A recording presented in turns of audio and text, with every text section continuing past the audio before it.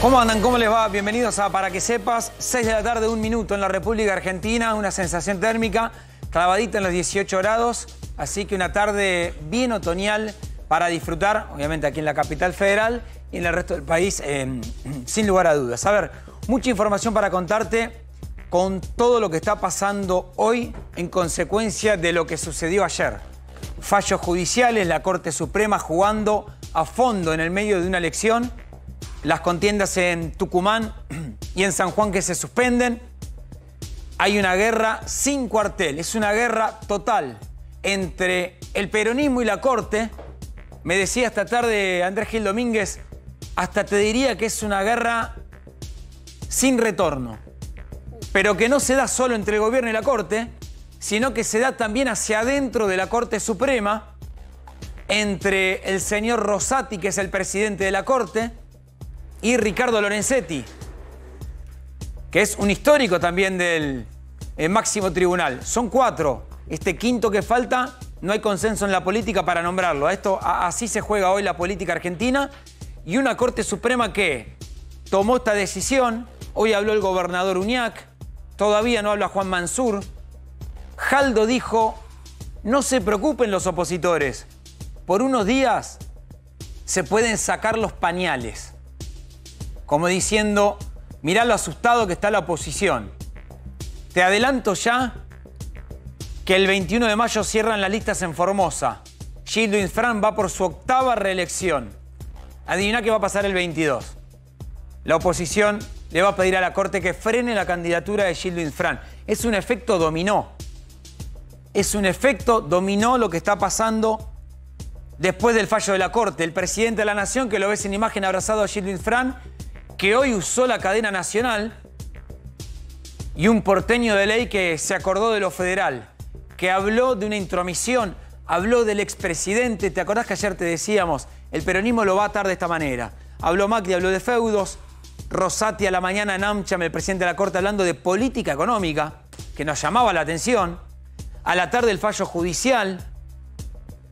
Y Alberto Fernández que lo que dice es, acá está, Peronismo, disolución nacional, decía Andrés el Cuervo Larroque. A estos problemas adentro de la Corte después te voy a sumar lo que está pasando afuera. Porque hay cierre de listas. Porque te anticipo que lo que dijo hoy Massa insistiendo con tiene que haber unidad, mañana va a ser un mensaje mucho más fuerte. El del ministro de Economía, que se está poniendo ese traje de candidato, pero lo que dice es, a mí no me vas a venir con una interna, Scioli.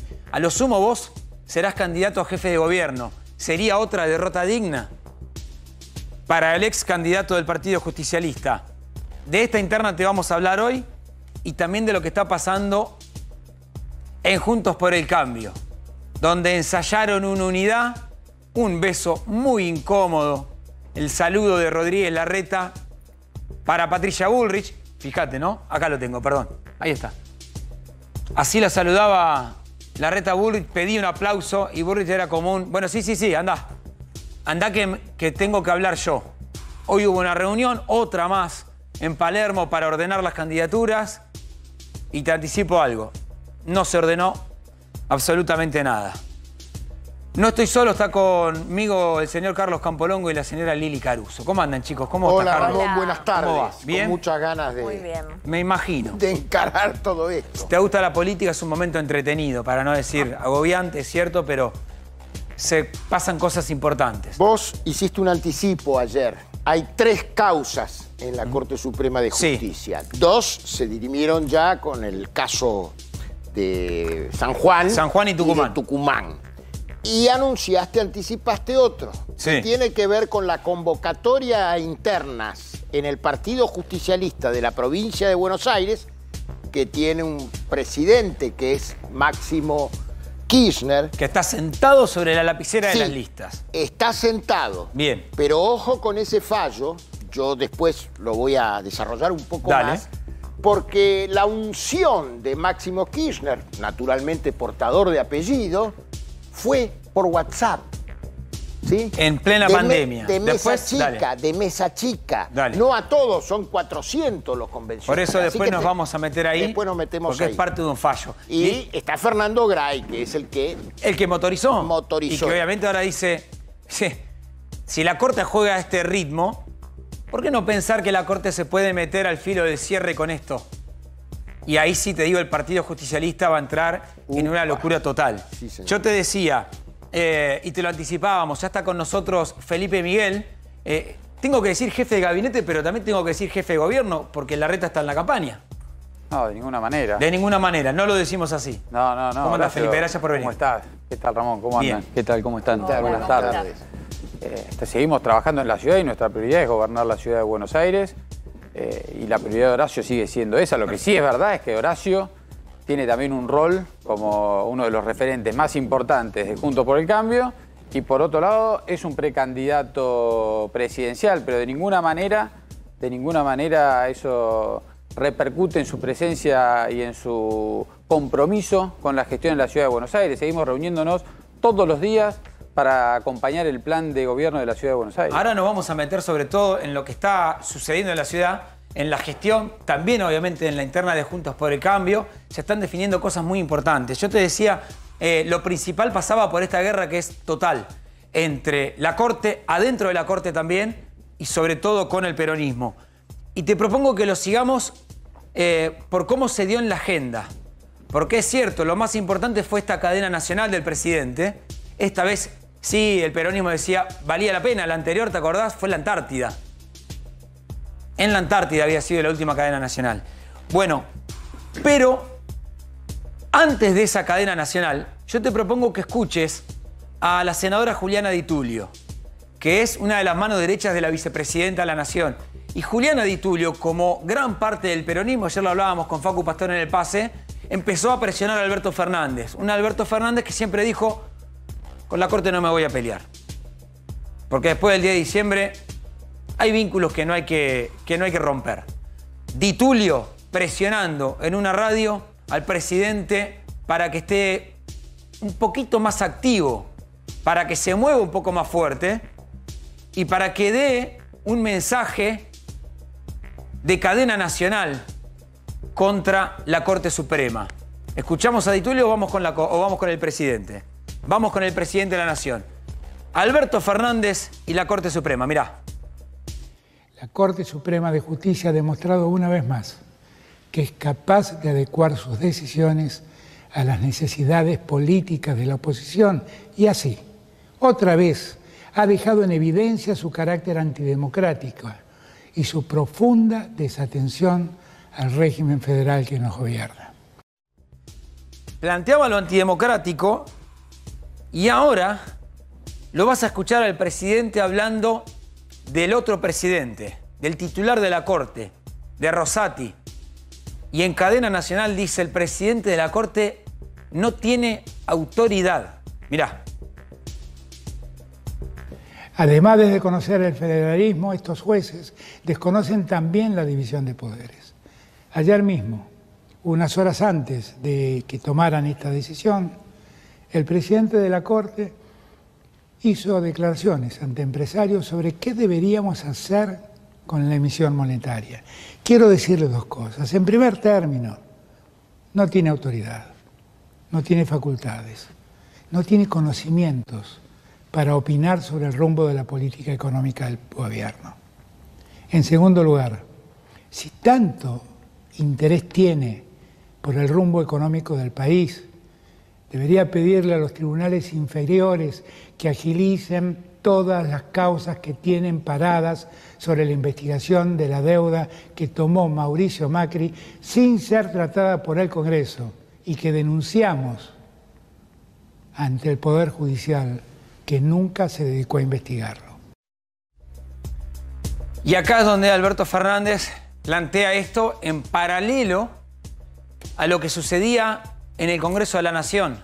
Porque en el análisis político uno empezó a preguntar en la Corte y también obviamente en la política, ¿cuánto tiene que ver lo que hace el peronismo en el Congreso diciendo vamos a un juicio político contra la Corte? No tenemos los, votos, no se preocupen.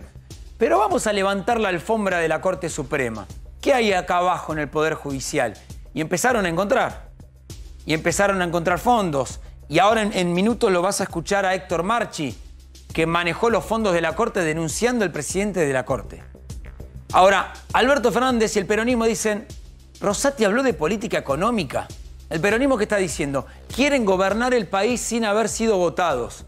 Y ayer te acordás que nosotros te decíamos, ojo con lo que está diciendo Rosati.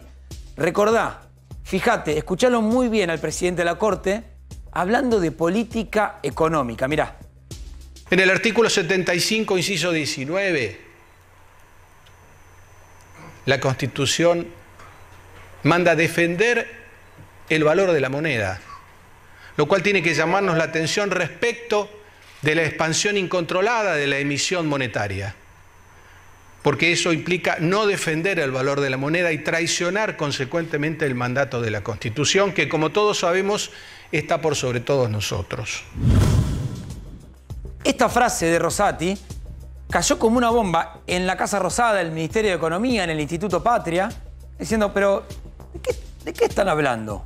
Política económica, después venía el fallo, está la antesala, lo que te anticipaba Carlos, de lo que puede ser el fallo por el PJ bonaerense, pero en paralelo a esto, este señor Marchi, que administraba los fondos de la Corte, que en un momento hicieron una auditoría, la obra social, algo que manejaba el señor Maqueda también de la Corte Suprema, Marchi toma el micrófono y habla de contratos para arreglar fallos judiciales. Mirá. Quiero hacer, quiero denunciar el posible otorgamiento de contratos para intentar negociar fallos que podría convertirse en delito en función del pedido de contratos del señor Silvio Robles por orden del doctor Rosati para la Cámara de Casación. Esto es en referencia a la causa iniciada en la ciudad de Santa Fe contra el doctor Rosati por un ex chofer de la Municipalidad de Santa Fe, que declaró llevarle dinero todos los meses. Marchi planteó esto. Decime si no podemos hacer un análisis político de atar las cuestiones. Escarbás en la corte, te peleás. La vicepresidenta habla de unos cortesanos que están con el grupo Clarín. Hablas del lago escondido. Tenés cuatro jueces. Lorenzetti en Europa. Una mayoría automática que toma dos decisiones cruciales a cinco días de una elección donde el peronismo pensaba celebrar porque decían Tucumán y San Juan la ganábamos y viene esta decisión. Ahora, del otro lado, Felipe, agradeciéndote por estar acá, ¿qué mirada tienen de lo que está pasando? Mira, eh, claramente hay un gobierno nacional y el kirchnerismo que hace rato ya nos tiene acostumbrados a su desprecio por las instituciones. Y en Argentina nos tenemos que acostumbrar justamente a respetar las leyes, a respetar las instituciones, a respetar los principios generales de nuestra organización eh, como país, como democracia, como gobierno. Y eso significa respetar la independencia de los poderes. En estos casos en particular, porque se vieron varias cosas, ¿no? Acá Sí. en tu editorial, eh, la verdad que está claro que la Corte Suprema es el último intérprete de las normas en la Argentina, de las Árbitro normas en de los general árbitros, digamos. y de la Constitución. Y la justicia a veces falla de acuerdo a nuestra visión respecto de un tema y otras veces falla en desacuerdo o, o en otro sentido. Esto es sentido común al final del día. Si el gobierno nacional o el kirchnerismo siempre tuviera la vara correcta respecto de cómo se debieran de dirimir las cuestiones que se presentan a la justicia, no necesitaríamos el sistema judicial, que en el fondo es lo que ellos están proponiendo. A ellos no les divierte, no les parece bueno, no les, eh, no les gusta, no los entusiasma la división de poderes, no les entusiasma compartir el poder. Es bien la suma del poder público y entonces cuando hay un fallo que no se adecúa a sus intereses, a sus necesidades, a sus propósitos, lo tildan de antidemocrático. Y la democracia funciona justamente de esa otra manera, con una palabra. división de poderes. A ver, eh, esto que estaba pasando, yo te decía que hoy hablaron, entre otros, y ahora me voy a meter con lo que está pasando en el peronismo a nivel electoral, Juntos por el Cambio, ya te anticipábamos, el 21 de mayo cierran las listas en Formosa, el 22 de mayo la oposición en Formosa va a decirle a la Corte, frenen a Infran, octava reelección para el mandatario formoseño. Eh, y ya me voy a meter con lo que dijo Massa y anticipándote lo que puede pasar mañana. Es momento de muchas definiciones. Pero hoy hubo una conferencia de prensa del gobernador de San Juan, Uñac, dijo, bueno, ¿saben qué? No voten al gobernador, el domingo votamos a todo el resto menos, a menos al gobernador. Y Uñac hizo una conferencia de prensa donde se refirió a las elecciones, pero también a lo que había dicho Patricia Bullrich. Que Bullrich había dicho, lo logramos, frenamos la re-reelección, tanto de Mansur como de Uñac. ¿Por qué lo plantea así? Claro, porque fueron dirigentes de Juntos por el Cambio en las dos provincias que le dijeron a la Corte, miren, esto es muy concreto, no se pueden presentar. Después es cierto que los tiempos que eligió la Corte podrían haberlo hecho bastante antes.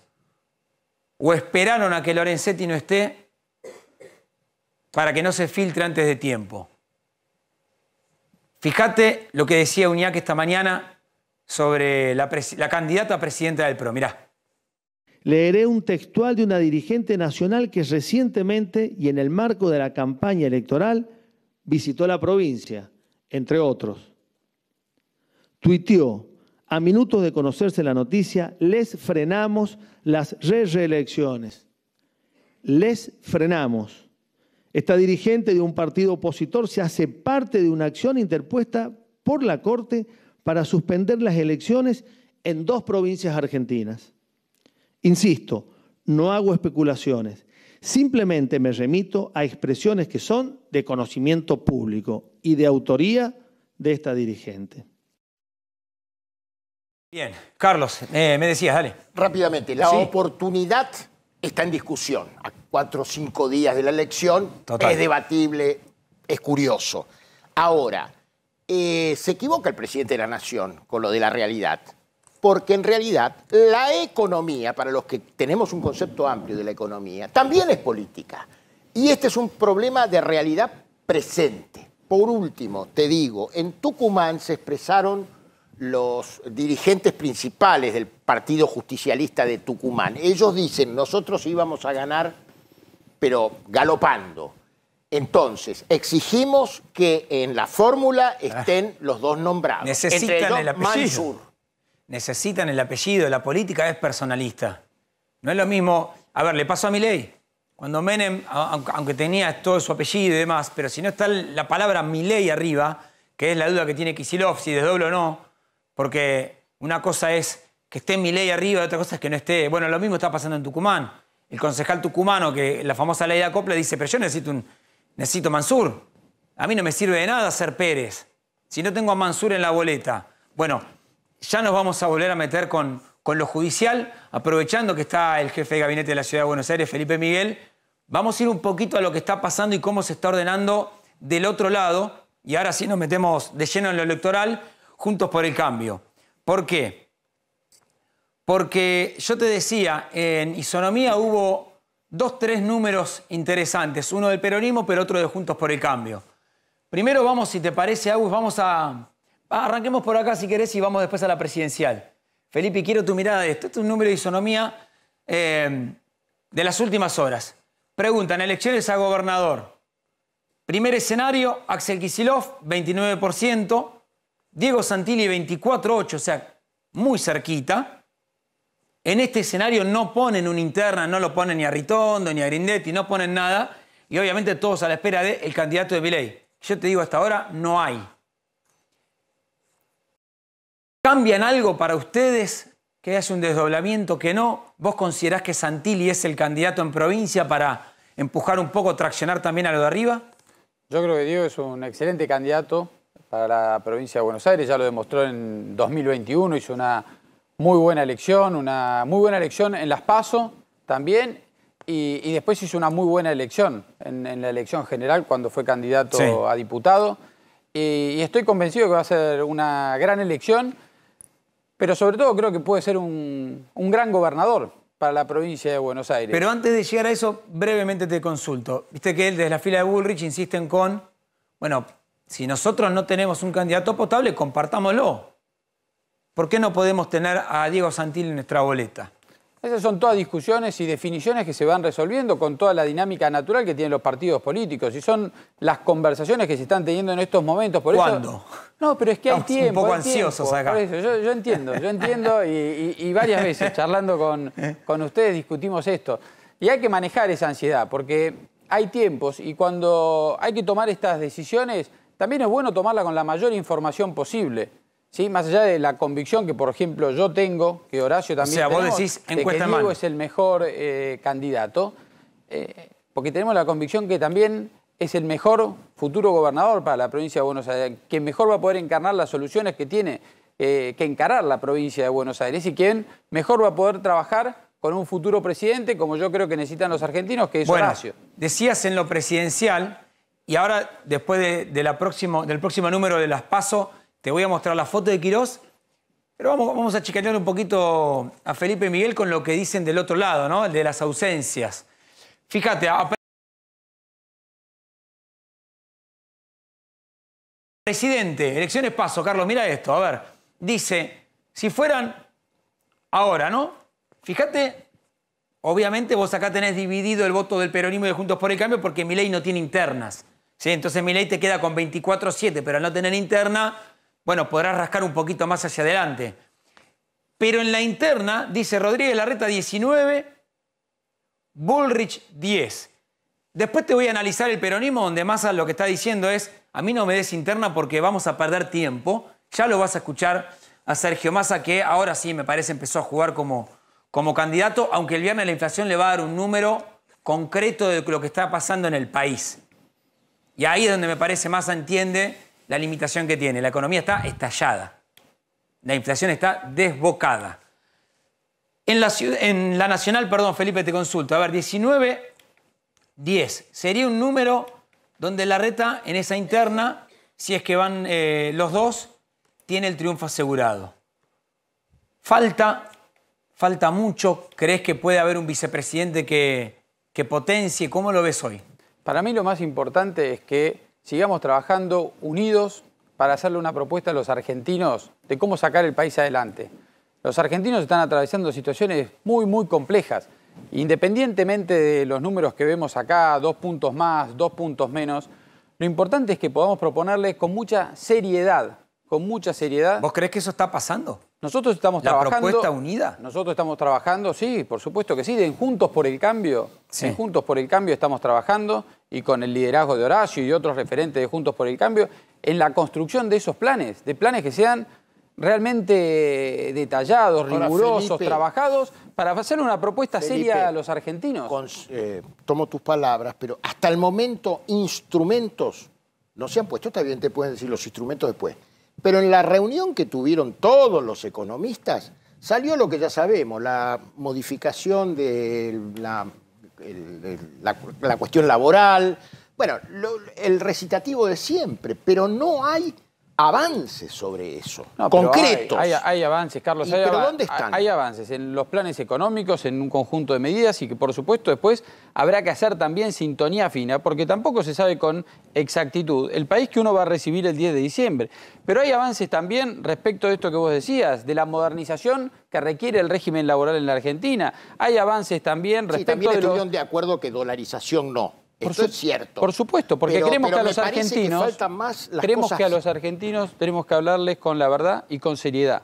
También hay avances en los planes sociales y ya se presentaron los Sí. lineamientos generales. Por supuesto que de acá hacia adelante y hasta el 10 de diciembre se van a seguir profundizando todos estos planes, pero se van a ir comunicando y se van a ir compartiendo también con todos los argentinos para que puedan tomar sus decisiones con la mayor información posible. Pero ese, ese es el verdadero desafío. Independientemente de estos números, Ramón, el verdadero desafío es poder proponerles a los argentinos una propuesta seria, realista, de lo que tenemos que hacer de acá para adelante para que Argentina Bueno. empiece a salir de la situación en la que está. En esas palabras, lo que pasó hoy es que, te lo contábamos ayer, en el peronismo, Scioli insiste, yo quiero jugar una interna, me gané el derecho a jugar la interna. Cristina Fernández se mantiene en silencio, es cierto que está levemente, y digo leve porque no es tan garrafal la, decisión de la vicepresidenta, levemente diciendo, y si no queda otra, los kirchneristas tendremos que cerrar los ojos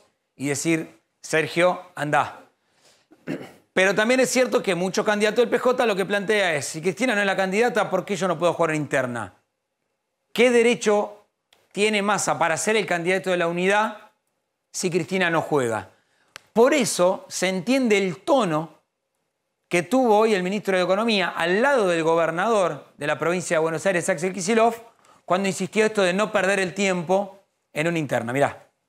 Cuando trabajamos juntos, la nación, el gobierno de la provincia, los municipios, cuando no perdemos el tiempo en peleas estériles, porque hay que decirlo con todas las letras, los que gobernamos tenemos que mostrar cómo resolvemos los problemas del presente y cómo diseñamos el futuro y no andar perdiendo el tiempo en internas estériles que solo resuelven vanidades políticas.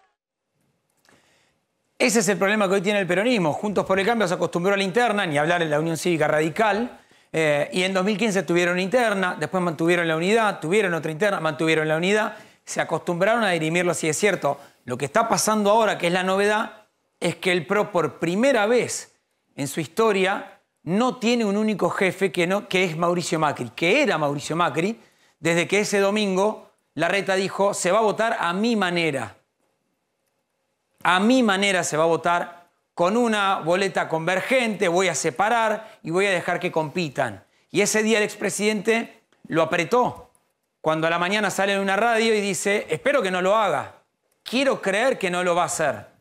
Bueno, si bien eso pasó, después Macri se reúne en la casa de Jorge Triaca, que viene a ser una suerte de puerta de hierro hoy, ¿no? La casa de Triaca. Triaca no está dando notas, me parece porque no quiere quedar como el hombre que pone la vivienda para que se hagan acuerdos, pero es una nota interesante, así que cuando quiera Triaca aquí estamos. Em, pero después de esa decisión de la reta, Macri dijo, bueno, ya está, cerramos el capítulo. No quiere decir que seamos amigos, pero por lo menos bajen un cambio y en Córdoba muéstrense juntos. Felipe Miguel me está haciendo, déjame responder a eso porque tenemos otra mirada, así que bienvenido sea, dale. No, lo primero que quiero aclarar es que la decisión de Horacio de que las elecciones fueran con boleta única tiene que ver con una decisión que ya fue tomada por la legislatura en la Ciudad de Buenos Aires. La legislatura de la Ciudad de Buenos Aires en 2018 hizo una reforma, estableció un código electoral que definió que en la Ciudad de Buenos Aires se vota con boleta única. Lo que le agregó Horacio a esa definición, que es lo que le permite la, el código electoral, fue que se hiciera con tecnología, es decir, con una boleta única, pero que además fuera con incorporación de tecnología al, estilo de lo que se hizo en 2015. Y otra cosa más, y otra cosa más le agregó, que fue que en vez de hacer seis elecciones, como había pasado en 2015, porque al desdoblarlas se tuvieron que hacer seis elecciones, se hicieran en la misma fecha para hacer que la gente vaya a votar tres veces en vez de esa Argumento Esa fue la definición. Felipe, argumento válido. Pero la pregunta política válido y legal sobre todo. Está bien. Pero decíamos antes, decíamos pero antes pero esa mañana, pero perdón, pero, pero porque acá vale la repregunta entonces. Esa mañana el expresidente dijo, no creo que, que Horacio lo haga. Y Horacio lo hizo. Porque es lo que indicaba la ley, es lo que indicaba la reforma del Código pero, perdón, No, Felipe, ayer decíamos, ayer decíamos, democracia hay una sola, Después tenés muchas maneras de jugar a la democracia. Acople, ley de lemas, convergente, separar, nacionalizar. Pero nosotros en, nosotros en el PRO creemos y defendimos desde siempre ir hacia la boleta única porque Mauricio no lo creía en esta elección. Nunca comulgamos, nunca comulgamos con las supuestas bondades de la boleta de papel sábana, nunca. Y siempre propusimos esta transformación. En la ciudad de Buenos Aires se llevó adelante esa, esa, modificación y por eso ahora tenemos que votar con boleta única. Es por una eso buena te pregunto. Ramón, es una buena noticia. Déjame que, déjame que, retome pero, una cosita. Pero que... es una buena noticia, pero vos planteame, eh, respondeme algo en esto. Entonces, el expresidente no lo quería para esta elección.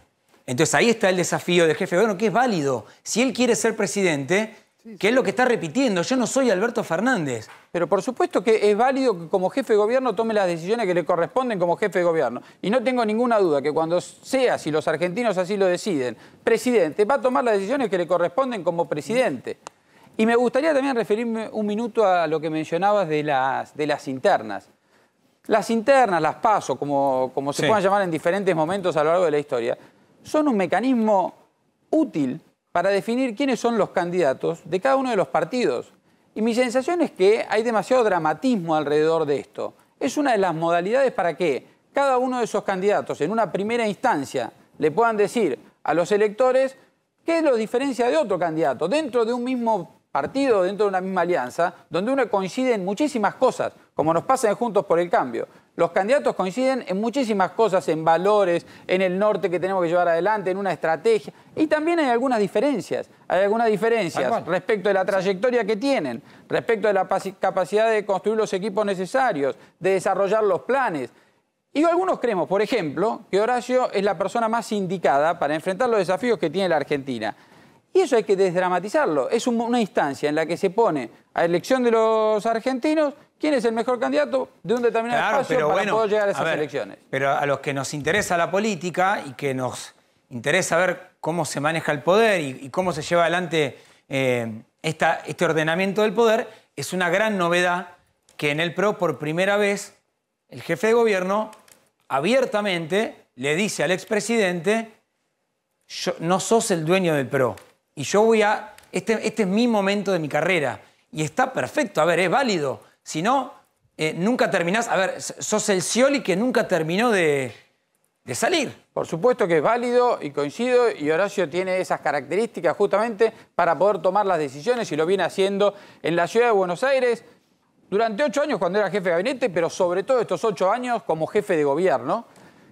Pero me parece que esta instancia, la de aproximación hacia las PASO y las internas, son muy interesantes para preguntarle a los candidatos por qué tiene que ser él o ella en, pero ¿sabes lo eh, que me pasa cuando pregunto? ¿Qué es lo que uno propone de diferente? ¿Por qué uno cree que eh, Horacio es el mejor candidato de Juntos por el Cambio para ser eh, presidente, por ejemplo? Este, este es el momento de poder estar compartiendo estas cosas y dándole a los ciudadanos ¿Sabes lo que nos pasa cuando preguntamos eso?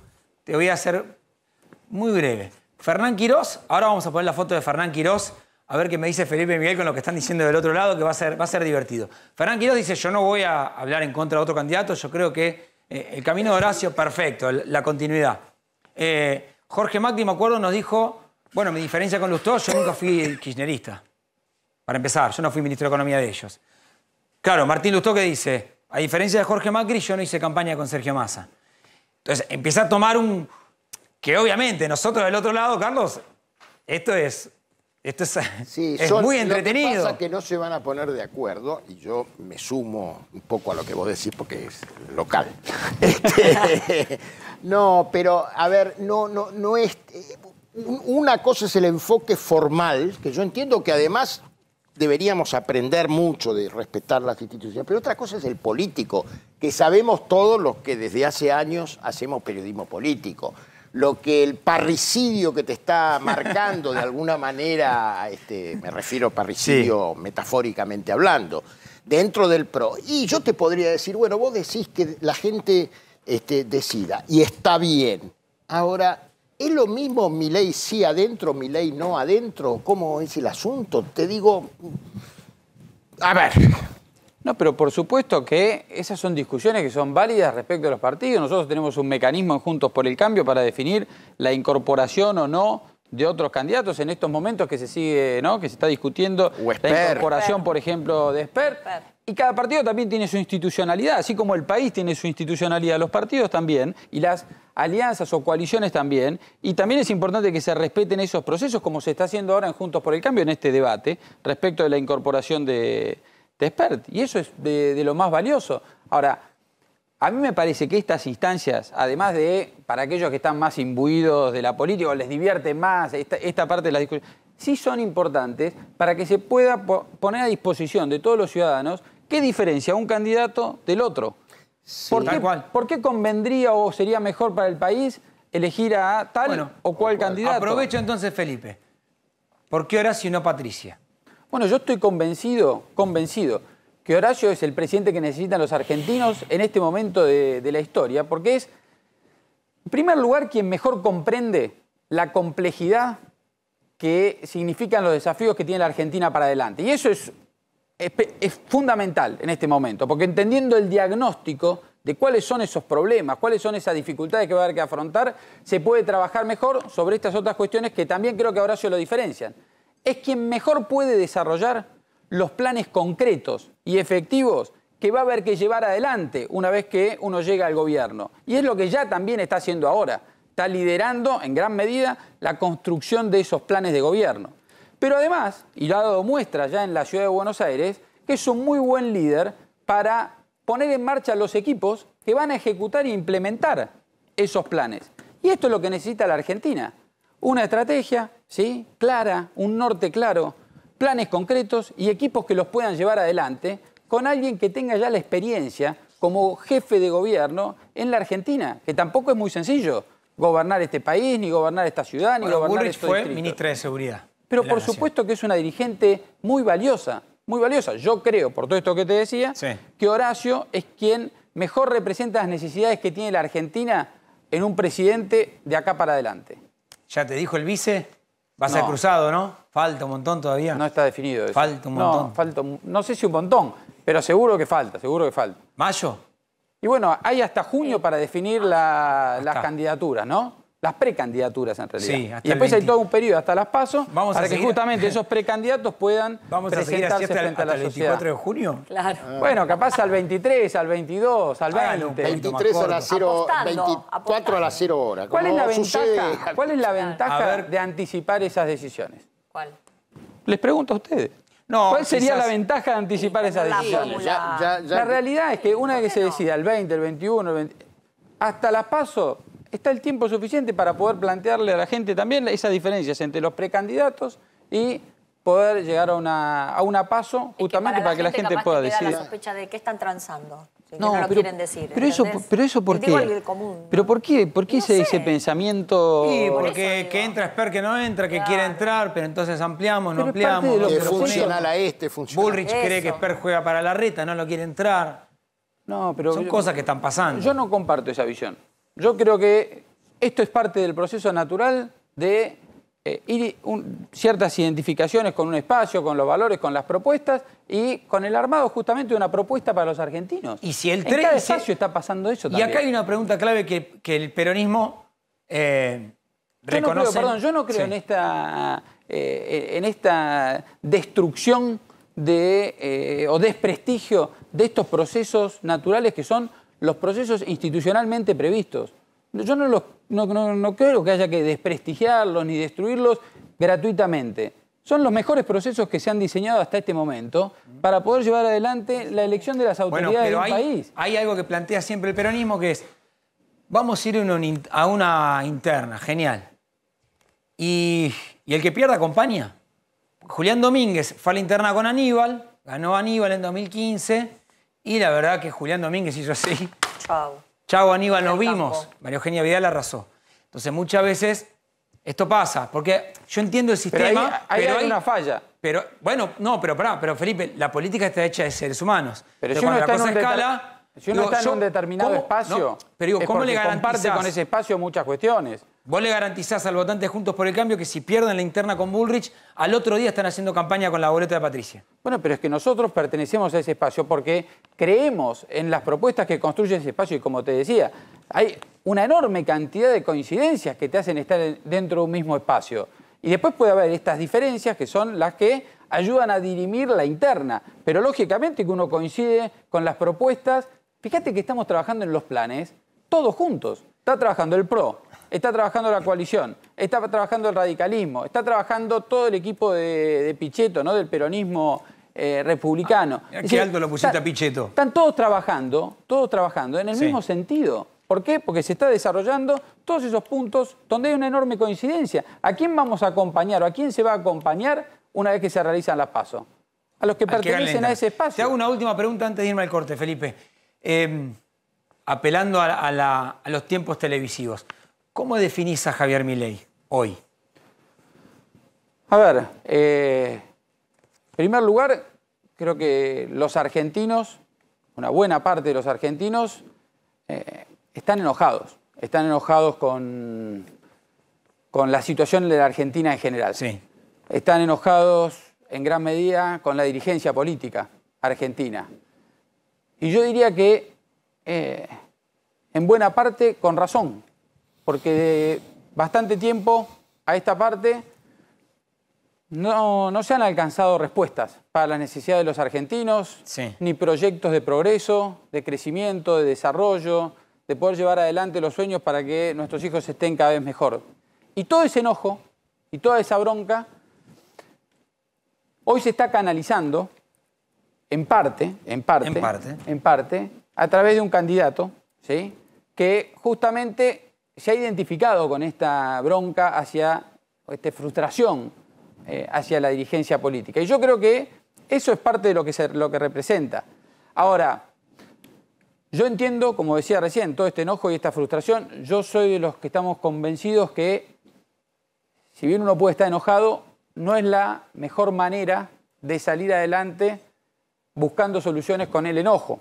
Y por eso trabajamos para construir una propuesta que sea seria, de vuelta, que sea responsable, que sea realista, para que en serio podamos empezar a salir adelante. Gracias, Felipe, por haber venido. ¿eh?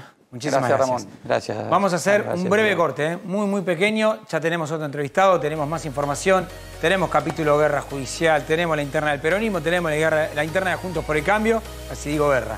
Y tenemos mucho más para que sepas, dale. Gracias por esperarnos, ¿eh? muchísimas gracias. Tenemos eh, información para darte durante media hora más. Después ya llegará el gran Facundo Pastor eh, con la continuidad informativa. Antes, déjame darte algunos consejos para el fin de semana y para disfrutar la ciudad de Buenos Aires, porque se vienen días muy lindos. A ver, anotá, toma nota. Durante una semana, del 13 al 19 de mayo, los vecinos y los visitantes de la ciudad tendrán la posibilidad de disfrutar acciones musicales que incluirán espectáculos, eventos y charlas. Más de 100 artistas en 7 días en distintos barrios van a celebrar la música en el espacio público. La Noche de la Música será el sábado 13, descentralizada en distintos espacios de las diferentes comunas. También tenés el domingo 14 de mayo, ahora, en breve, llega la onceava edición del Buenos Aires Celebra Paraguay, en el marco del festejo de los 212 años de la independencia paraguaya. En los stands se van a ofrecer variadas comidas tradicionales, no faltarán los productos regionales como la yerba curupí, el dulce de guayaba y las artesanías típicas. Además, al inicio del evento van a realizar una procesión en honor a la Virgen de Caacupé. Y por último te cuento también que el Ministerio de Espacio Público y Higiene Urbana te invita a dejar tus bolsas plásticas de un solo uso en los puntos verdes donde hay parques y en las plazas de la ciudad. Las bolsas van a ser reutilizadas el próximo 17 de mayo en una intervención artística que se va a realizar en el obelisco por el Día Mundial del Reciclaje. Ah, mira, estaba la plaza de Saavedra. Bueno, muy bien. Dicho esto, eh, Lili Caruso, nos adelantabas lo que está pasando perdón, en la provincia de Buenos Aires. Claro, porque mientras hablamos de las fórmulas, de lo que discuten los políticos para la gente, para los barrios del conurbano bonaerense, la discusión es otra realmente. ¿Y con qué tiene que ver, más allá de la economía? Con la inseguridad. ¿Y por qué? Porque te voy a hablar hoy del barrio Las Antenas. Lo venimos tratando. ¿Qué pasa en el barrio Las Antenas, en Isidro Casanova, en el partido de La Matanza? Un barrio, te diría, secuestrado. Sí, secuestrado por los narcos, porque los narcos no dejan vivir a los vecinos que quieren ir a trabajar, a los chicos que quieren ir al colegio, a las madres que quieren llegar con los chicos al colegio y no pueden. ¿Por qué? Porque muchos son cooptados por narcos traficantes que quieren instalar en este barrio los búnkers, los famosos búnkers, porque ven que es un territorio apropiado para hacer sus negocios, pero no solo para la venta del narcomenudeo, sino también se está hablando desde acopio, distribución y hasta quizás elaboración. Esta es la gran preocupación que tienen las madres. Por eso Qué locura hoy- las imágenes, Lili. es tremendo, lo que vos ves es tremendo, porque sabés además el ejército que defiende, y lo voy a llamarlo así porque hay que llamarlo, me parece, por el peso que tiene, el ejército que defiende a esos barrios, ¿sabés quiénes son? Son un ejército de mujeres. Las madres han tomado la defensa del barrio. ¿Y hoy qué ha pasado? Hace días te contábamos que hay un personaje, Chucky Chan para algunos, ¿no? Que Sí. este, quiere, que ya tiene 15 de- homicidios encima, que desaparece y aparece, pero que deja a, a sus seguidores, a, su- a sus obsecuentes, trabajando en la zona para ganar los búnkers. ¿Y qué pasa? Pasa que este hombre se mete en el barrio, genera disturbios, genera tiroteos. Sí. Y la gente no quiere esto. Entonces la gente llama a los medios porque dice, la policía no nos da bolilla, así de simple. Y hoy volvieron a llamar a los medios y ahí atacaron a dos periodistas.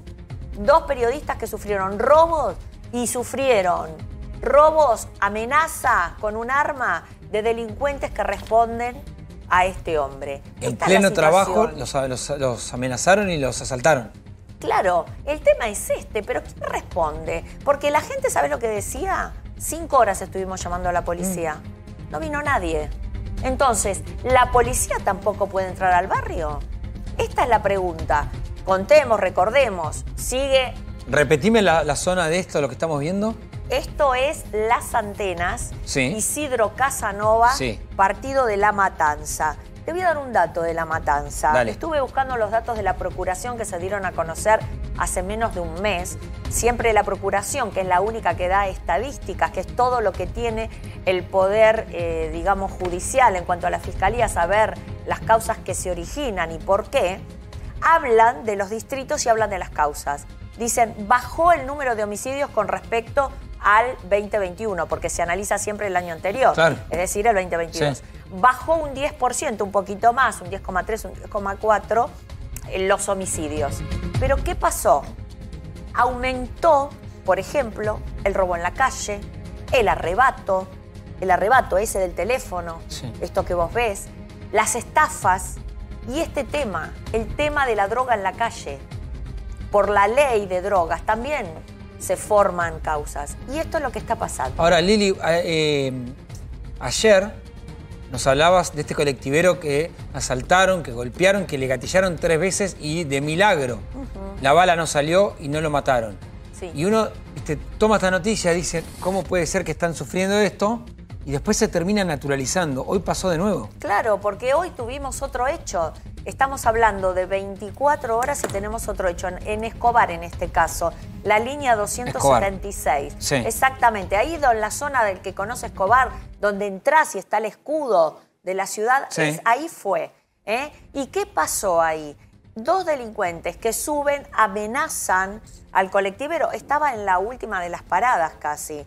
Sube, lo amenaza con un arma, le da todo el colectivero, porque le da todo, y ¿sabes qué termina haciendo el delincuente? Le disparan la pierna. Le disparó. Le disparó Igual. en la pierna. Hay una imagen, si no, no sé si la tenemos, que es, ahí está, ahora la vas a ver. Se está haciendo el torniquete el propio colectivero, sangrando, sangrando en su cabeza por un culatazo y tratando de prevenir. Ahí está. Qué locura, Esta, es la. Esta imagen. El propio yo- colectivero haciéndose el torniquete.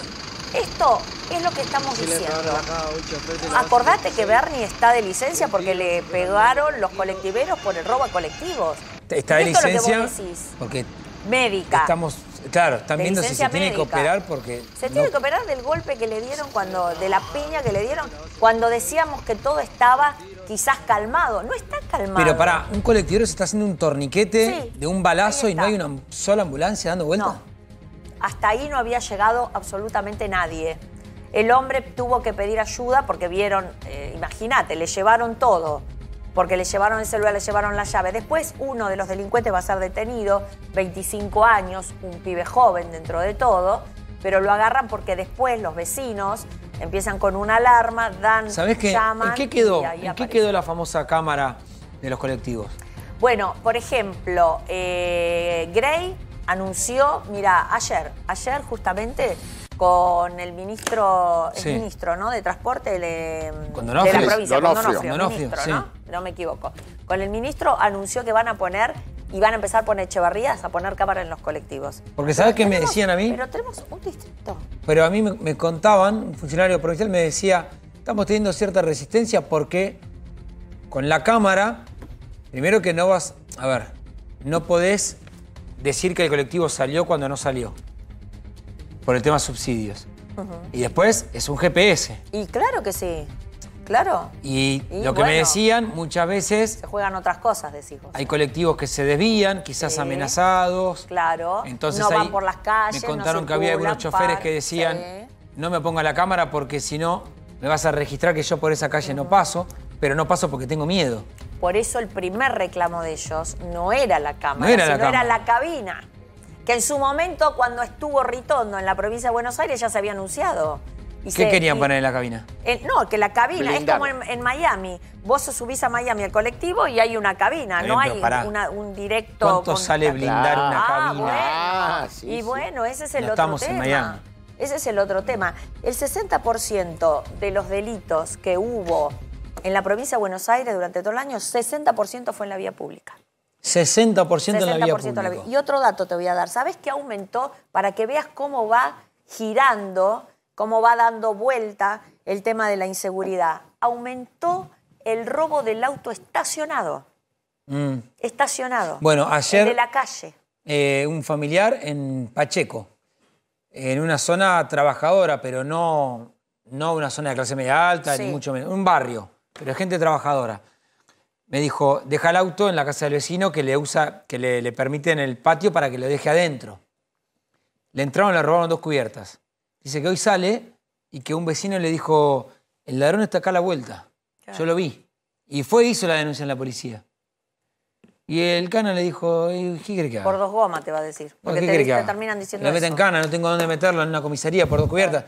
Y me contó que el policía le terminó diciendo, no te preocupes, yo voy a ir a la casa y le voy a decir, La próxima. tené un poquito de código, es el del barrio. Te lo juro, yo no lo podía no, creer. No, no, es, es terrible lo que decís. Es terrible. Porque está bien, vos decís, bueno, por dos cubiertas, claro, no le puede dar una perpetua a una persona ahora, pero te está diciendo, ahí está el tipo que me está robando. Pero eso es un hurto. Vía es un hurto. Es un el hurto simple, te voy a dar, lo busqué. El hurto simple, Claro. porque eso es un hurto simple, no hay violencia, No hay violencia, hay si no contacto sería, claro. claro. 11,6%.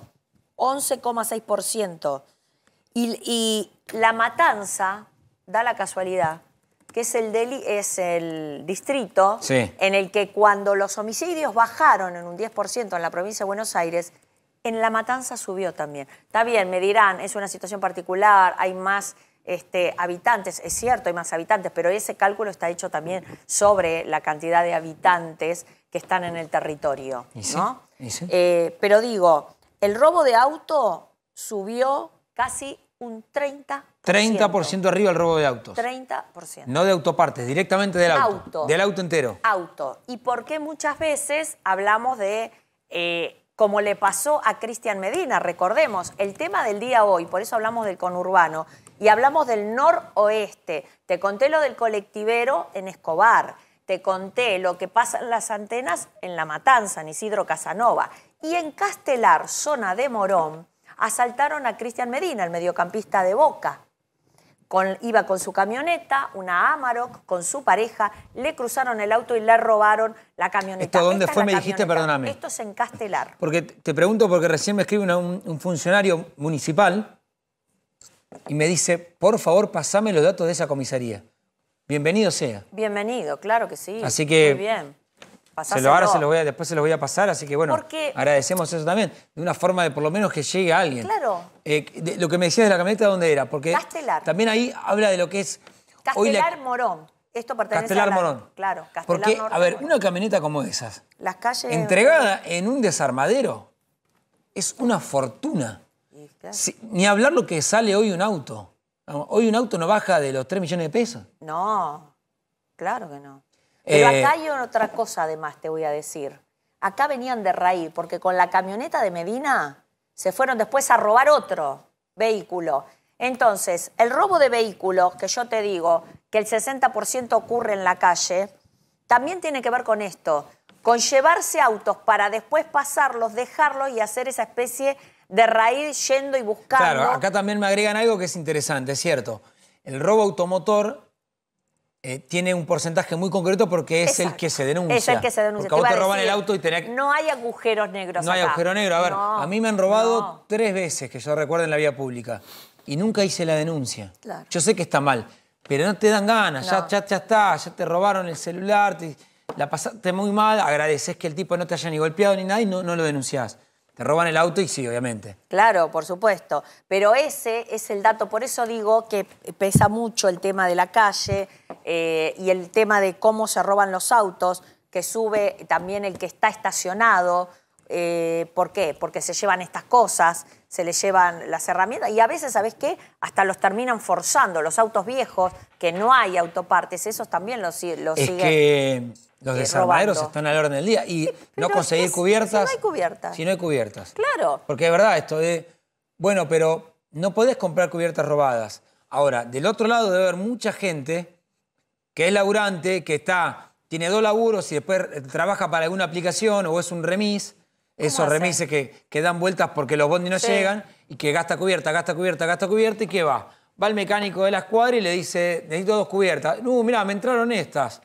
¿Vos te qué pensás que el tipo va a preguntar? no no porque no compro cubierta robada. No. No. digo que esté bien, pero pasa ante la emergencia. Sí, claro que sí. Y además, esos autos que vos decís muchas veces reemplazan al colectivero que no quiere entrar al barrio. Exactamente. Ojo con esto, porque eh, es como que está obligado, porque ante la situación económica, si no tenés tampoco la posibilidad de trabajar, de alguna forma el tipo va a querer salvarse y no sabe de dónde viene, es cierto. No hay, no hay, eh, no hay, digamos, la forma de comprar un neumático si no es nuevo en realidad. Si no tiene que tener cierto sellado, lo hablamos muchas veces en la aduana, que hace operativos, que Sí, encontraron además, un montón a ver, de camiones que traían eh, de contrabando. Y pero es bueno. cierto que también vos decís, bueno, pero pará, la gomería debería preguntar cuando alguien le acerca cubiertas. Es Sí, cierto. es cierto. Pero cuando vos vas degradando todo, de a, de a poquito se va degradando, de a poquito se va degradando, llega un momento que no hay un límite de esto sí, esto no. Y la gomería, el gomero del barrio, agarra cualquier cosa. Sí. Porque justo el vecino le pidió dos cubiertas y vino uno y le dijo, tengo dos cubiertas. Bueno, dámelas. Las paga poco, las vende, le pega una, las limpia un poquito, le arregla un poquito la llanta, se fija que esté bien emparchada y la vende. Y así como todo se va degradando, se degrada. En la compra de repuestos, entonces por eso después empiezan a abundar los desarmaderos. Desarmaderos. A ver, también digámoslo, después muchas veces eh, el Estado sabe dónde está ese desarmadero y hay alguien que es cómplice. Claro, sí. Porque eso Otra cosa, pasa. te digo, ¿sabes qué aumentaron? Y bien de la época, lo conocemos bien, las estafas. Otra de las cosas que aumentó en la provincia de Buenos Aires son las estafas, 14%. Y no las cibernéticas. 14%. Estafa. De todo. De tipo. todo, de todo. De todo tipo, De todo. porque estafa también es, y lo venimos contando, de muchos casos que han terminado mal incluso, de la compra y venta de algo vía marketplace o todas esas es, eh, plataformas que van y terminas con un robo. Y después algunas peores, ¿no? Como, Mm. Bueno, hemos pero fíjate cuenta. que- Pero mirá cómo fue la cuestión del delito mutando, pero un delito que como en el caso de hoy lo viste. En los tres casos de hoy tuviste el, el robo al colectivero, que es el robo en la vía pública. Sí. Le sube el tipo trabajando, le suben eh, dos, en este caso uno le pega un tiro, no tiene a nadie que le auxilie, porque es de madrugada, otra vez con ese tema. Escobar. Después tenés a Cristian Medina, le cruzan un auto, le roban la camioneta, lo amenazan con un arma, le llevan todo lo que puedan y se escapan con la camioneta. El robo automotor, el robo en la calle otra vez, el robo que aumentó en un 32%, más de un 32%, 60% que se da en la calle. Estallado Y después, está estallado. Está estallado. Y después tenés eh, el último de las antenas, donde te decía un barrio cooptado por narcotraficantes Lili, que no el- dejan hace- vivir a nadie. Hace unos días hacíamos un, un comentario en la red con Facu diciendo esto de qué es el Estado para vos. digamos, ¿Qué es el Estado? Cuando te- nosotros, los que tenemos la suerte de trabajar, llegamos a fin de mes, nos damos algunos gustos. A ver, ¿tienen obra social privada? ¿Por qué? Porque podemos pagar y vamos Claro. al, al- al círculo privado. No digo que después lo privado sea la panacea, pero vas a lo privado. No. Si tenés un mango más, ayer teníamos un candidato, Mario Marquite de Santa Cruz, que nos decía, los chicos tuvieron 16 días de clase en todo el año. ¿Qué hace el padre de Santa Cruz? Colegio privado. Obra social privada. ¿Qué haces si tenés un mango más? Terminás viviendo en un barrio privado, porque está explotada la inseguridad. Entonces, salud privada, colegios y podés privado para que tenga clases. Después el docente público hace lo que puede, es cierto, pero el Estado es privado, privado. Eh, la seguridad privada, te decía, la educación privada si la puedo pagar. Después en la educación universitaria es cierto, por ahora conservamos algo positivo. Transporte, transporte público está explotado. Entonces el que puede, paga el auto. Entonces te manejas en auto. ¿Por qué? Porque no tenés trenes. Porque ir de Tortuguitas a Retiro es una hora quince. Si tenés suerte, el que tren ande. Claro. Porque después hay paro, porque los tipos cobran mal. Entonces tenés paro. Y si te tomas el bondi hay un corte. Hoy estaba estallada la autopista de La Plata. Entonces es muy difícil vivir. Entonces cuando te dicen después el Estado, es cierto que esto hay que salir con Estado. Está bien, pero después vamos a la madre del dolor y te dicen, no sé dónde poner a mi chico que es adicto. Porque no tengo plata para que alguien cure a mi hijo y que lo tenga ahí. Porque el Estado no te lo da. Entonces, cuando vos vas viendo lo que te da el Estado, te termina dando muy, po- muy pocas cosas. Cuando vos vas a, a- a lo que vos gastás por mes, porque no te lo da el Estado o te lo da mal, terminás gastando 200 lucas por mes. Entonces terminás laburando con tu mujer, labura todo el círculo familiar para que, bueno, para tener algo, para poder subsistir en lo que no te da el Estado. Después hay una discusión abstracta del Estado, pero esto es lo que pasa concreto. Eh, y ya nos vamos a meter en unos minutos con Fernando el Chino Navarro, que de esto puede hablar y mucho. Chino, gracias por venir. ¿eh? Un gusto, buenas noches, ¿cómo les va? Bien, ahora quiero, tu mira- quiero tener tu mirada de esto, pero quiero que Carlos haga un comentario por algo que pasó en el peronismo en la provincia de Buenos Aires, que entiendo vos estás al tanto, pero que Carlos me decía hace unos días, vos podés crear una sola corona a un dirigente peronista que tenía mucha historia en la provincia de Buenos Aires, Carlos. Sí, Ramón, si yo digo Jorge Rulli, seguramente las generaciones más jóvenes no lo ubican. Ahora, si digo Jorge Rulli y además lo digo porque creo que rememorar, decirle adiós a la historia es grave, porque cuando uno memora, ¿sí? Sí. lo que está haciendo es fundando su historia y fundando su pasado. Jorge Rulli él mismo se llamaba el guerrero de la periferia. Sí. Y además escribió un libro sobre eh, la agonía del peronismo. Rulli empezó a militar a los 15 años. Mucha gente cree que la resistencia peronista empezó en los 70. Falso. Empezó apenas lo derrocaron a Perón en el 55. Jorge Rulli fue uno de esos eh, fundadores y participó poniendo el cuerpo, sufriendo torturas. Estuvo en Uruguay preso con el Pepe Mujica, por ejemplo. Un luchador, un luchador idealista, ojo, él después ya mayor se dedicó al combate de los agrotóxicos, la cuestión de la agroecología y quería realmente una, una comunidad. Bueno, murió a los 83 años, había Sí. empezado a militar a los 15, ahí tenemos su cara, un, un sabio diría a esta altura de la vida. Y eh, ocurrió lo que estaban, estaba relatando, que al velatorio que ocurrió el fin de semana, no hubo ni un comunicado del Partido Justicialista Nacional. Sí. Por supuesto, mucho menos del Partido Justicialista Provincial, que ni debe saber quién es este, eh, Rulli. Una sola corona, una sola corona que la envió el intendente de Esteban Echeverría, Y nada más. Fernando Gray. Ahí que está. ahí está la única corona que lo acompañó a Rulli.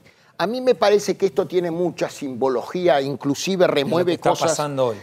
renueve- eh, remueve muchas cosas en el peronismo. Pero fíjate que Fernando Gray es el que interpuso, y vos lo decías ayer, lo repito, lo dije hoy al principio del programa, que puede salir el tercer fallo de la Corte Suprema de Justicia. Por el PJ bonaerense. que reclama la nulidad de la convocatoria del Partido Justicialista que hizo Máximo Con ese Chile. dato, Carlos,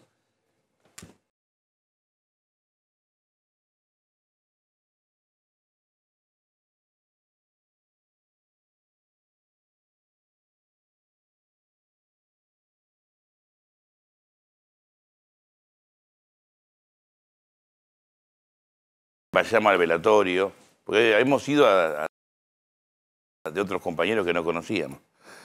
Y tiene que ver con esta velocidad con que hacemos política y cada vez estamos más aislados de la realidad. Yo te voy a contar, te voy a comentar lo que pienso de la Corte, pero hoy sí te- estaban hablando recién de un montón de cuestiones que sufren Sí, dale, dale. millones de argentinos y nosotros estamos discutiendo cuestiones superestructurales que no le interesan a esos millones de argentinos porque no tienen tiempo y tienen otro tipo de situación que tienen que afrontar. sí. Eh, el fallo de la Corte me pareció absolutamente irresponsable casi temerario. Casi temerario. Casi temerario. ¿Qué es? Porque una vez cae en la tentación, este, yo soy abogado tardío, ¿no? Pero empezamos con los artículos que.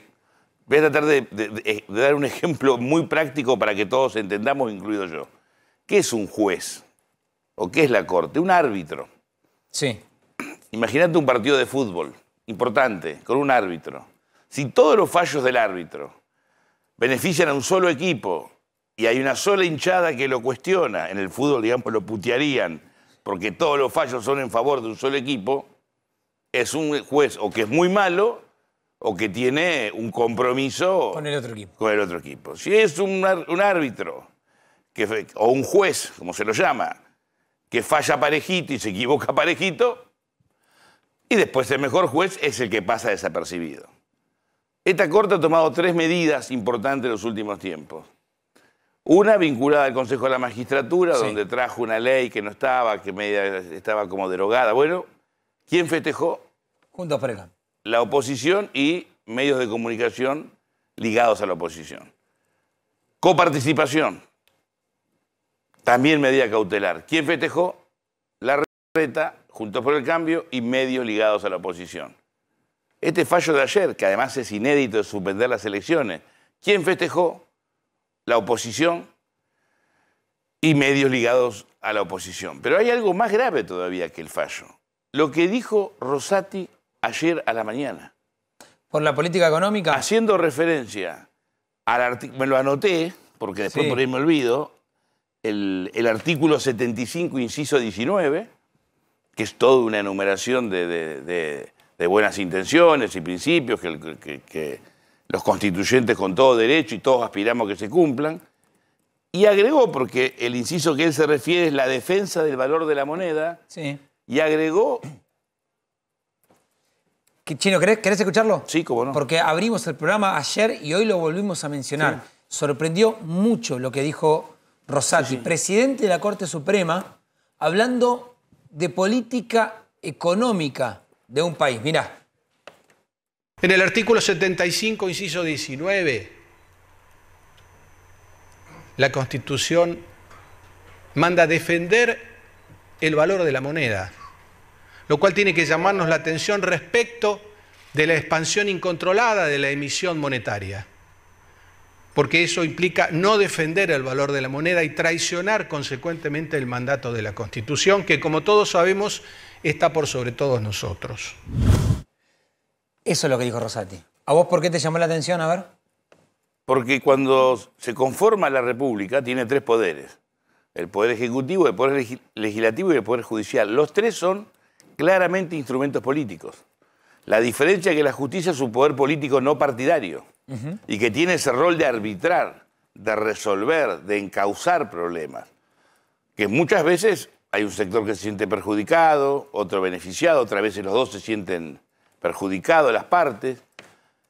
Pero las decisiones políticas, acá y en todo Occidente, en el sistema que nosotros nos regimos, Lo toma el Poder Ejecutivo. no, no, no son judiciables. Salvo que sea, implique un delito. Y tiene discrecionalidad el Ejecutivo o, o Legislativo en el marco de sus facultades. Hablábamos del El Estado. poder, el poder Sí. Judicial no puede tomar decisiones u opinar temerariamente, como lo hizo Rosati ayer, en el marco de un país que tiene el 100% de inflación, de una crisis Sí. económica que ustedes nos pueden echar la culpa a nosotros, etcétera, etcétera, es discutible. ¿Qué quiere Rosati? ¿Devaluar? Bueno, ¿Está ligado a un grupo económico o grupos económicos que le interesa la devaluación? Habla- Chino, hablando de eso, eh, a ver, te anticipábamos. Hay un aumento de jubilados. Quiero que me des tu mirada de lo que está pasando en la calle con la economía, con los jubilados. Hay un anuncio importante. Dale. entendiendo que nuestra responsabilidad es garantizar la vigencia de la fórmula y además fortalecer el ingreso para mejorar la situación frente a la inflación de jubilados, jubiladas y trabajadores. En ese sentido, a lo largo del año el aumento para jubilados de la mínima ha sido interanual del 130%. En términos reales, la recuperación del ingreso ha sido del 7%. Como les decía recién, la inversión para el próximo trimestre es de más de 250, 252 mil millones de bono adicional y entendemos además que en el caso de las asignaciones familiares y la asignación universal establece un piso mínimo de 13.864 pesos. En el caso de jubilaciones y pensiones, por la importancia y el nivel de detalle que tiene, le vamos a pedir a Fernanda que nos cuente, entendiendo que la importancia que tienen nuestros jubilados y jubiladas por ser quienes construyeron el camino de trabajo a lo largo de toda la vida y hoy necesitan que el Estado les cumpla y que el Estado de alguna manera les esté cerca, requiere de que hagamos el mayor esfuerzo posible en materia de inversión pública con los fondos de la seguridad social y como vamos a hacer en los próximos meses con asistencia del Tesoro adicional para garantizar que el ingreso sea más fuerte. Así que, Fernanda, si nos podés contar. Bueno, gracias, ministro. Buenas tardes a todos y a todas. Queremos compartir con ustedes el resultado que dio la fórmula de movilidad, esas 17 Bien, ahí ese aumento que anunciaba el ministro de Economía, ahora hablaba la titular de ANSES para explicar cómo es el, el haber de cada, de cada segmento, después te lo vamos a ir detallando. Pero, Chino, me parece que acá también es, esta es lo que vos decías, ¿no? La economía de la calle, la verdadera. Decía, ¿no? Massa destacaba 130% de aumento a la mínima, siempre que quede claro, a la mínima, porque tenemos una inflación por encima del 100. Así es, es. una situación eh, desesperante. Bueno, por eso mismo, para cerrar lo de la Corte. Sí, dale. Lo de Rosati ha sido irresponsable y temerario. Mucho más su declaración. Yo no lo conozco a Rosati, no soy de los que descalifico porque no lo conozco. A priori pienso que es una persona de bien, que es una persona inteligente, fue ministro de nuestro gobierno. Pero lo que hizo ayer, o cometió una torpeza sin precedentes en un presidente de una Corte Suprema, o está ligado a algún interés concreto porque está buscando devaluar. Y devaluar si a él le preocupa la constitución y el bienestar de los argentinos, la devaluación perjudica a todos los trabajadores, a los jubilados y a los sectores más humildes. Siempre hay minorías económicas que se benefician. Es cierto lo que vos decís. Obviamente que, punto aparte, es cierto aparte. que lo que vos decís, que a los jubilados les cuesta, este aumento, bienvenido sea, va a ser importante, pero siempre Bueno, la vamos remando de atrás. mirá, hablábamos del Estado. Sumo las jubilaciones. Que cobra la mínima tiene que subsistir con el aporte de la ayuda de un hijo, un familiar. Digo, ¿qué te da el Estado hoy? El Estado Es muy difícil tiene las falencias que vos señalás, yo las suscribo, da más de lo que vos señalás también. A ver. Y te- tiene una, una política de salud que no es 10 puntos, pero no es una eh, existe, no existe en muchos países hermanos de la región, ni en muchos países del primer mundo, pero es insuficiente. En el, en el balance es insuficiente. Si vos podés, vos tenés obra social, Yo tengo prepaga. Entonces, es- a eso voy. Bueno, pero te doy un El que ejemplo. puede hacerlo, te doy, te la doy un paga. Y no digo ejemplo. que esté mal, no te Uno- estoy cuestionando, no, pero bien. ¿Viste? Te, te quiero contar algo, que es una, es una cuestión personal. Dale. Pero ¿por qué valoro el Estado? Y te digo que da más de lo que decís, aunque es insuficiente. Yo tengo un hijo que se llama Ignacio, que tuvo dos situaciones de salud muy delicadas. Uno cuando era un bebé y otra a los 14, 15 años. La primera vez, eh, su madre Nancy lo llevó al hospital Pena, porque ella trabaja en el Pena. Luego, cuando tuvo el segundo hecho, que nos asustamos mucho, que por suerte las dos cosas lo superó, lo llevó al Hospital Gandulfo, Hospital Provincial de Loma de Zamora, donde ella cumplía funciones. Ella eligió, atendiendo, porque es profesional en hospitales privados, en clínicas privadas, el hospital público.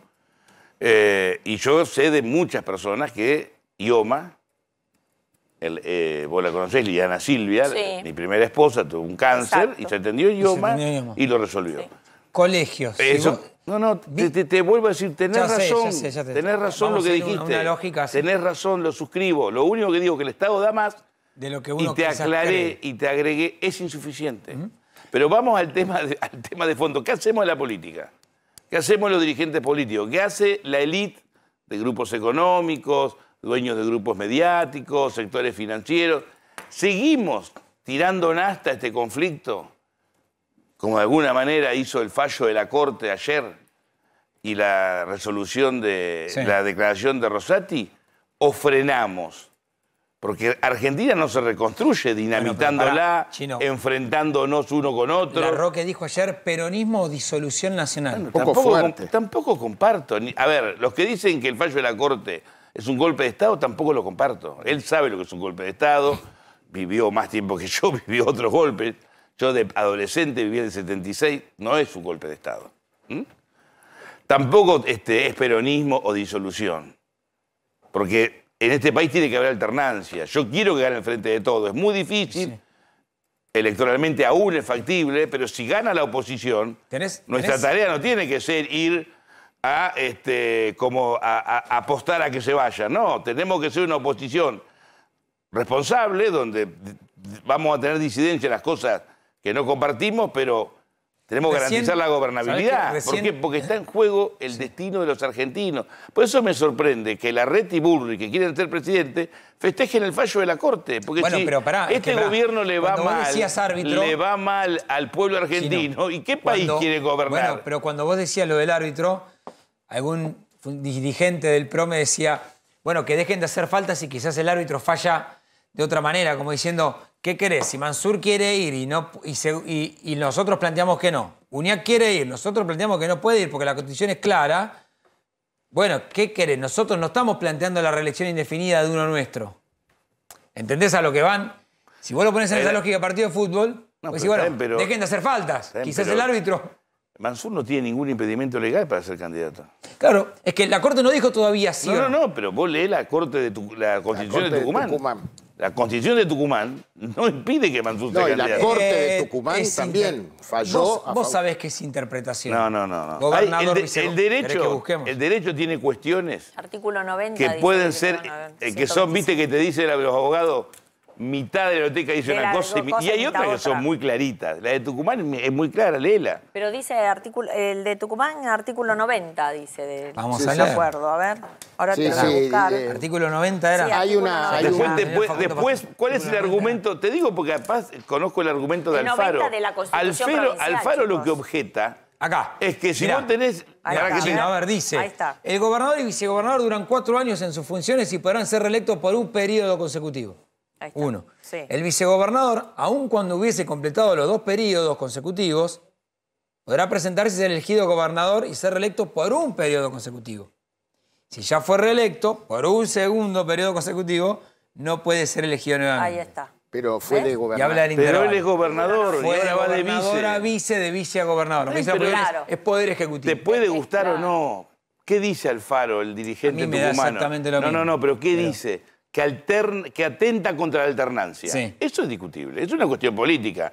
Habría que buscar un mecanismo, mirá, son reelegibles dos periodos y se acabó, y después tiene que pasar un periodo y vuelven. O como en otros países, en Estados Unidos, vos sos presidente dos veces y no sos nunca más. ¿Qué Tenemos dos más. ejemplos. O en Podés- México tenés un Sí. presidente y después no O sos más.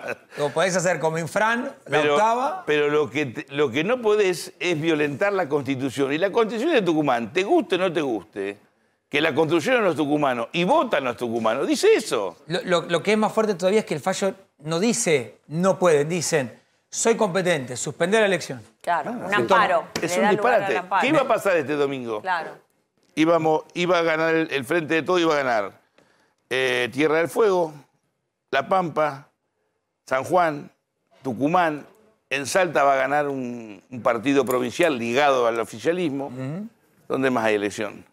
Eran esas cinco. Este, este fin Bueno, de semana. era un más. montón. Entonces, perfecto. Y Tucumán es el sexto distrito electoral del país. El sexto. Bueno, la medida esta de... ¿Por qué la Corte no tomó la... Si, si es tan grave el tema, ¿por qué no intervino hace dos meses? Si la Corte tiene instrumento para El hacerlo. recurso está presentado desde hace un año, creo. El- la oposición. Es una medida clara. eh, a ver, es... A ver, es estábamos un- contando la disputa política, hay, una, hay una guerra declarada, está en el co- comisión de juicio político. Perfecto. La Corte no quiere que, que vos me digas, hables che, de cómo los ustedes, lo- lo- eh, lo- en, en medios No te vamos a decir- simpatizantes con el No, gobierno los Chino, por favor, insultan, los descalifican. No, no, no, vos no. En digo, sería- un alguien de la oposición me puede decir, o alguien de la corte, che, ustedes en medios oficialistas, obligados al oficialismo, me insultan, me cuestionan esto, lo otro, me ridiculizan, dicen esto, me llevan a juicio político, que está dentro de la Constitución, ¿no? Pero supone que lo tomen como un agravio.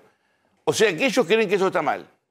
¿Cómo lo corrigen? Con un error mayor. Vos lo que sentís es que están jugando con una cancha inclinada ustedes. No, no. Me sorprende que quien tiene que poner racionalidad y equidad, por eso son jueces, si creen que hay una cuestión equivocada, lo resuelvan con un error más grave. Es decir, acá hay un pequeño fueguito. Entonces yo en vez de venir con un balde a apagarlo, Trae el bidón. ven- no, vengo con un hidrante y tiro abajo todo. Sí, apagué el fuego, pero derrumbé el estudio. Es, es un, no tiene ni pie ni cabeza lo que han hecho.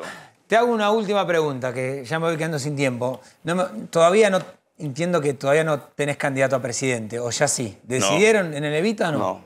Todavía no. No. No hay candidato a presidente. No tenemos. ¿Crees que tiene que ser lista de unidad o tiene que haber una interna? No, estoy convencido que tiene que haber por lo menos dos posiciones políticas Ok. que discutamos esto que vos estás planteando. ¿Qué hacemos con el Estado? ¿Cómo reconstruimos un Estado eficiente? O sea, una interna, una paso. No, no, pero discutir Entre un dos programa, pero no a puerta cerrada.